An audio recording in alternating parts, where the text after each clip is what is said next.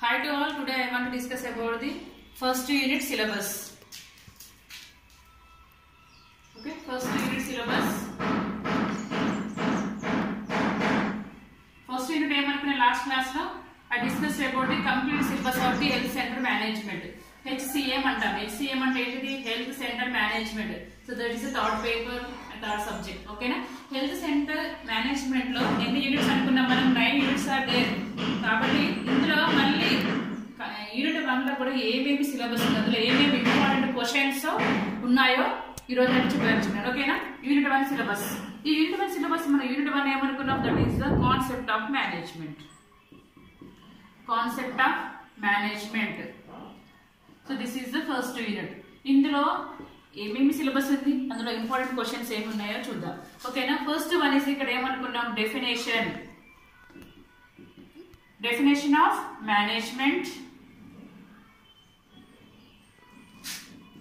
definition of management. Next principles of management. Principles of management. Next one is the elements of management. Elements of management.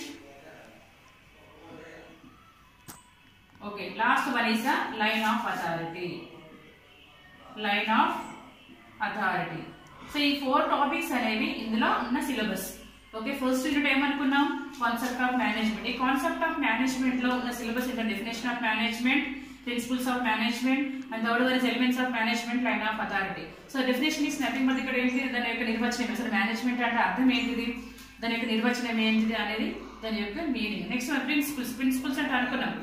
Okay ఏంటిది? నీతి నియమాలు. అంటే మనం ఒక పని నిర్వర్తించేటప్పుడు ఏమేమి సూత్రాలు పాటించాలి? ఈ సూత్రాలు పాటించడం ద్వారా మనం అనుకున్న పనిని తక్కువ టైంలో ఎలాంటి ప్రాబ్లమ్స్ లేకుండా ఫినిష్ చేయగలుగుతాం. కాబట్టి మనం తెలుసుకోవాలంటే ఇది చదువుకోవాలి. ఓకేనా? Principles of the management. Elements అంటే అంశాలు. ఈ ప్రిన్సిపల్స్తో పాటుగా కొన్ని అంటే మనం ఉన్న గ్రూప్ మెంబర్స్తో ఒకటి మనం కలిసి ఉండడం వాళ్ళతో కలిసి పని చేయడం జరుగుతుంది అవునా కదా? కాబట్టి ఇందులో ఉన్న ముఖ్యమైన అంశాలు ఏంటిదో దాని గురించి డిస్కస్ చేసే ఎలిమెంట్స్ ఆఫ్ మేనేజ్మెంట్.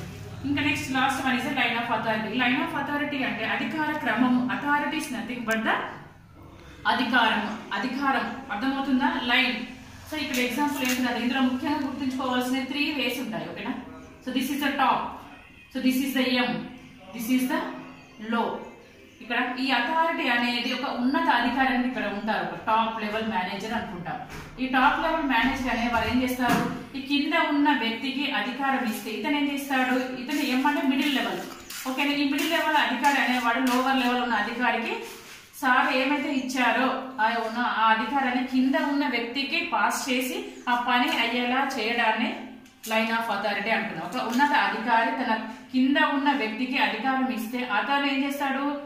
అతను తన కింద పనిచేయ వ్యక్తులకు ఆ యొక్క అధికారాన్ని ఏంటిది అమలు చేసి ఆ పని పూర్తయ్యేలా కంప్లీట్ చేయడాన్ని ఏమనుకున్నామంటే అథారిటీ అంటాం. ఓకేనా ఇక్కడ top level manager middle level manager lower level manager okay lower అనుకోవచ్చు లేదా లీస్ట్ ఓకేనా సో దిస్ అధికార క్రమం. అధికారం అనేది ఈ విధంగా పాస్ అవుతూ ఉంటుంది. Okay it's clear okay so these are the some of the syllabus of the first unit ఇందులో ఇంపార్టెంట్ క్వశ్చన్స్ ఏంటిదంటే definition very very important question first two marks question two marks questions కంపల్సరీగా వస్తుంది it's expected questions అన్నట్టు final ఎగ్జామ్స్కి principles అనేవి five marks questions కంపల్సరీగా so this is a five marks question elements అనేవి practical పరంగా అసలు మేనేజ్మెంట్ ఒక పని నిర్వర్తించేటప్పుడు ఏమేమి అంశాలు ఉంటాయి?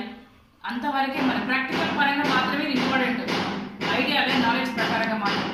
లైన్ ఆఫ్ అథారిటీ కూడా very very important two marks questions కూడా చాలా ఇంపార్టెంట్ ఇందులో ఇంపార్టెంట్ క్వశ్చన్స్ ఏంటి?